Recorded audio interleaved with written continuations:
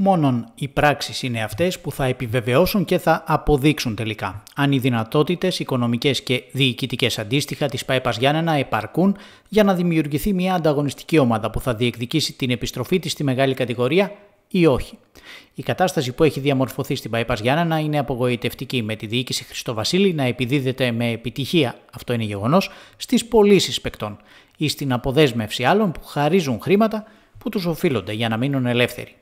Από την άλλη, όμως, είναι αδιανόητη η καθυστέρηση στη συμφωνία ανάληψης της τεχνικής ηγεσίας από κάποιον προπονητή.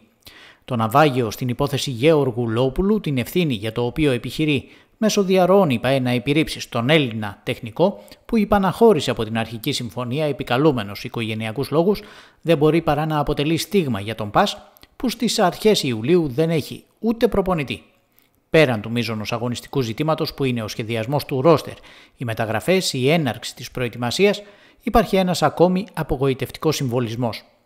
Ο κ. Γεωργουλόπουλος συμφώνησε να αναλάβει την ευθύνη της τεχνικής ηγεσίας στον Αστέρα και Σαριανής, ομάδα που αγωνίζεται στη Football League και ανήκει στον ιδιοκτήτη και μεγαλομέτωχο της ΠαΕΚη Φυσιά.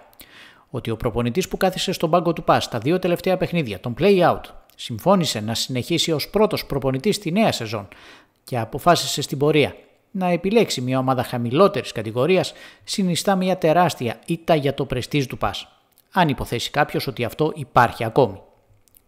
Με τις αποχωρήσεις παικτών να μην έχουν ακόμη ολοκληρωθεί καθώς σε εκείνες τον Εραμούσπε Κιάκου προστέθηκε και ο Άγγελος Λιάσος στο συμβόλαιο του οποίου έληξε και αναζητά τον επόμενο σταθμό της καριέρας του. Το ίδιο αναμένεται να γίνει με τους Σόρια, Τζίνο αλλά και με τον Πέδρο Κόντε που δύσκολα πλέον θα παραμείνει στον Μπάς έτσι όπως έχει διαμορφωθεί η κατάσταση. Για τον Σόρια φημολογείται πάντως ότι υπάρχει ήδη πρόταση στην ΠαΕ ενώ κάποιες πηγές κάνουν λόγο για δύο προτάσεις από το εξωτερικό. Επομένως είναι θέμα χρόνου να συμφωνήσει η ΠαΕ και να εισπράξει και άλλα χρήματα από τη μεταγραφή του.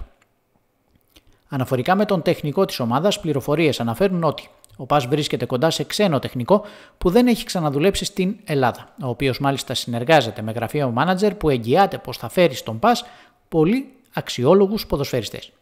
Αυτά όμως είναι μόνο πληροφορίες που δημοσιεύονται και παρουσιάζονται με κάθε επιφύλαξη.